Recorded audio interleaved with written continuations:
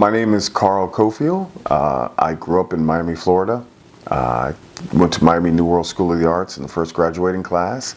I did my undergraduate work at the University of Miami, and I am proud to be back as the director of One Night in Miami at Miami New Drama.